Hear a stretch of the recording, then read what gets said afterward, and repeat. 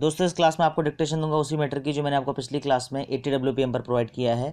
Grade D का matter है eight hundred words की डिक्टेशन है। आपको डिक्टेशन प्रोवाइड कर रहा हूँ हंड्रेड डब्ल्यू पी एम पर। Be ready for it sir we are witnessing an unprecedented price rise of petrol and diesel in many cities petrol prices have touched rupees 80 and more. Sir, considering this alarming price rise, I demand from the central government to withdraw the excise duties which have been imposed since 2014. Sir, I also demand from the central government to take steps to regulate the prices of petrol and diesel and withdraw the deregulation regime. Sir, the finance minister in this budget has made a cut in the excise duties to the tune of rupees 8 but he made it sure that the cut does not pass on to the consumer by introducing a new road cess of rupees 8. Sir, what was the argument while deregulating the prices of petrol and diesel? It was that the prices of petrol and diesel will be decided on the basis of international prices. The price may increase or decrease vis-a-vis -vis the international prices. But what is our experience? Sir, when the crude oil price rises, we see that petrol and diesel prices also rise. At the same time, when the crude oil price falls, it is not getting shifted to consumers. In 2014, crude oil price was 110 US dollar per barrel. Now it is only 70 US dollar per barrel it has come down to 30 US dollar per barrel. But unfortunately, the government is taking it as an opportunity to increase the excise duty, but the benefit of falling prices is not being shifted to the consumers.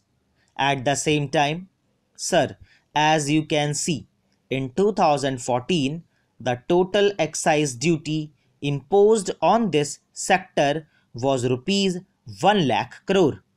In 2016-17, it increased to rupees 2.67 lakh crore and now it has crossed rupees 3 lakh crore. What about the subsidy?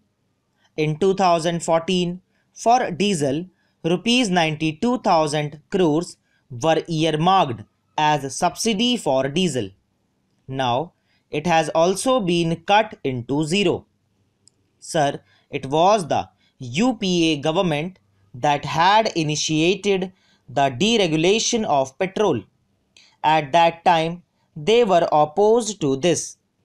Now, they have deregulated the price of diesel and taken away the subsidy of rupees 92,000 crores.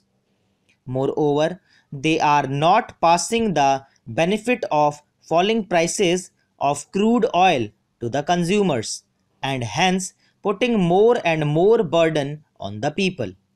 So, I demand from the government to review this policy and withdraw the deregulation regime. Thank you. Sir, Doctor of Pharmacy, popularly known as PharmD, is a six-year doctoral course. It was introduced in India in 2008 by the Pharmacy Council of India. 10 years are over since introducing the course. The objective of the Doctor of Pharmacy is to provide rationalized therapy to the patients and improve the quality of therapy and patient's life. Sir, this particular course has got three phases. The first phase is academic. In the academics, they deal with the study of anatomy, pathology, pharmacology, therapeutics, medical chemistry and biochemistry of human body. In the second phase, it is one year internship where students undergo training relating to clinical pharmacy services and critical evaluation. In the third phase, the students are trained in the general medicine for six months. These are all the three phases which they undergo during the six years. The objective behind framing of this kind of syllabus is that PharmD graduates learn to treat framed therapy for very basic illness. Sir, in fact, after seeing the academics initially, the course should have been recognized by the Medical Council of India, not the Pharmacy Council of India.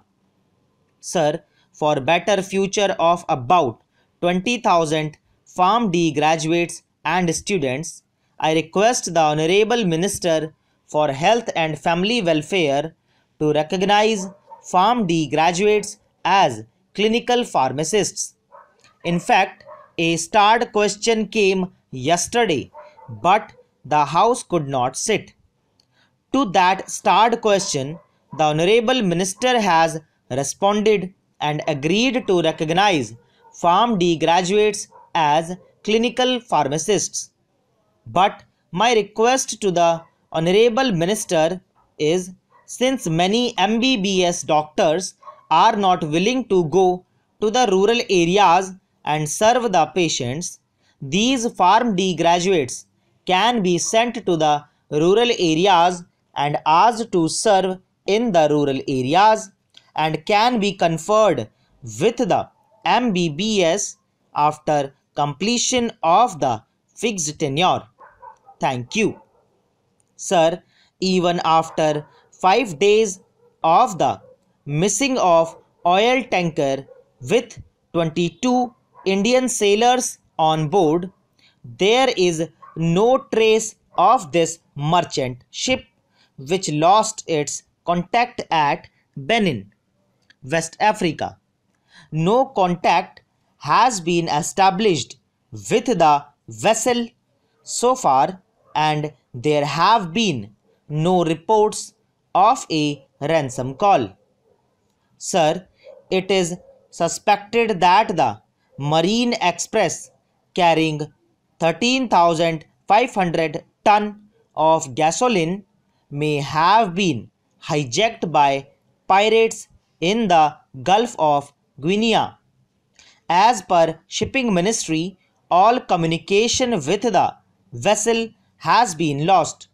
The Ministry of External Affairs said that the Indian mission is in touch with Nigerian authorities.